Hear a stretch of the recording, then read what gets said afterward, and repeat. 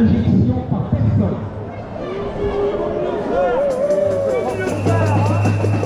Dans l'Union européenne, il y a le drap vigilance.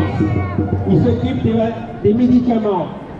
Et nous en sommes maintenant à 39 000 décès suite à injection. 39 000 décès suite à l'injection ils ont été reconnus, vous voyez, le papier est officiel. Ah, on sait qu'il y a 10 fois plus. hein. C'est le drap vigilance. Ouais, mais moi je le suis à lui, ce qu'il dit. À côté, Non, mais- vous avez Ouais, ouais. On le sait. hein. la députée Martine Warner qui appelle les gens qui ont reçu cette injection à venir lui communiquer tous les problèmes qu'ils ont eus.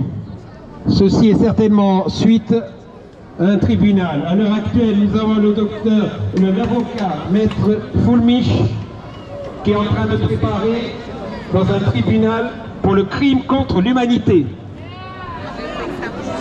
Super. Voilà. Et je vous préviens, qui a commandé tout cela, parce que Macron ne fait qu'obéir aux autres, c'est l'Union européenne. Comme disait Sarkozy, nous sommes dans le nouvel ordre mondial et personne, je dis bien personne, ne passera à travers. Voilà.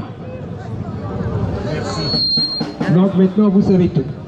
Et c'est pour ça qu'il faut nous rejoindre. Venez gonfler les rangs. Et on remercie le convoi de la liberté. Parce que partout en France et en Europe, il y a des manifestations. Venez gonfler les rangs, refusez, désobéissez pour les enfants. Ils sont en train de massacrer toute la France.